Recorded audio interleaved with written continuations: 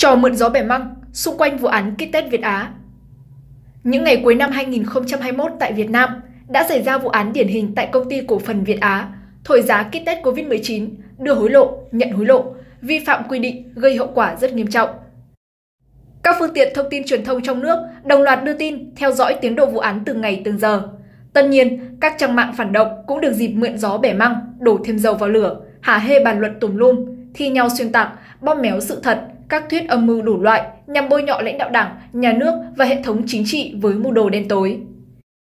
Chẳng hạn, trong một bài viết, Scandal Việt Á và khinh dân đến thế là cùng phân tích bình luận theo hướng lèo lái rất cháo trở.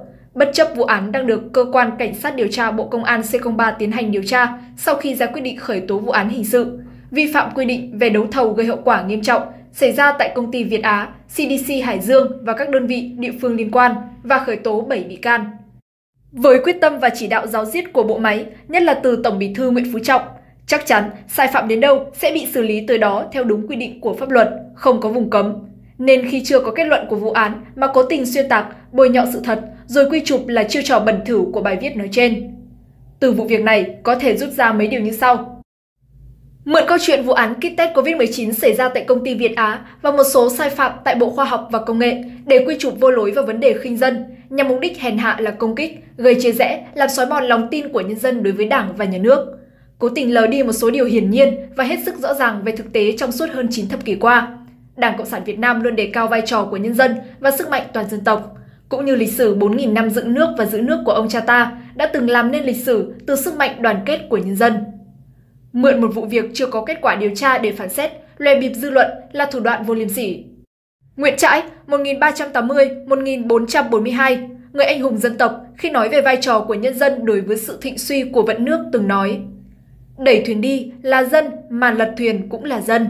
Phan Bội Châu 1867-1949 đã viết trong Việt Nam Quốc sử khảo 1908. Theo công pháp vạn quốc đã định, được gọi là một nước thì phải có nhân dân, có đất đai, có chủ quyền. Thiếu một trong ba cái ấy đều không đủ tư cách làm một nước. Trong ba cái đó thì nhân dân là quan trọng nhất. Tiếp nối truyền thống của cha ông, một trong những tư tưởng vĩ đại và được xem là sợi chỉ đỏ xuyên suốt trong tư tưởng và đạo đức cách mạng của Hồ Chí Minh đó là dân vì bản. Hay nói khác đi, đó chính là tư tưởng lấy dân làm gốc. Hơn ai hết, Đảng Cộng sản Việt Nam và Nhà nước Cộng hòa xã hội chủ nghĩa Việt Nam hiểu rõ tầm quan trọng và sức mạnh của lòng dân. Hội tụ được sự đồng thuận của nhân dân thì dù khó khăn đến đâu cũng vượt qua, như Chủ tịch Hồ Chí Minh đã từng nói. Dễ trăm lần không dân cũng chịu, khó vạn lần dân liệu cũng xong. Và người thường dạy bảo cán bộ chiến sĩ rằng, việc gì có lợi cho dân ta phải hết sức làm, việc gì có hại cho dân ta phải hết sức tránh. Tổng Bí thư Nguyễn Phú Trọng trong bài phát biểu kỷ niệm 75 năm cách mạng tháng 8 và Quốc khánh mùng 2 tháng 9 năm 2020 cũng đã nhấn mạnh, trong mọi công việc của Đảng và Nhà nước luôn xác định dân là gốc, nhân dân là trọng tâm, là chủ thể của công cuộc đổi mới. Mọi chủ trương, chính sách phải thực sự xuất phát từ nguyện vọng, quyền và lợi ích chính đáng của nhân dân. Để củng cố niềm tin của nhân dân đối với Đảng, phải làm cho Đảng thực sự là người lãnh đạo, là đầy tớ thật trung thành của nhân dân.